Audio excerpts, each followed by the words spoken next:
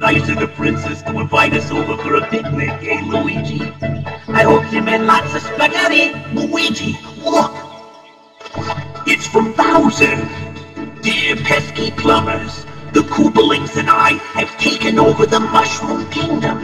The princess is now a permanent guest at one of my seven Koopa hotels.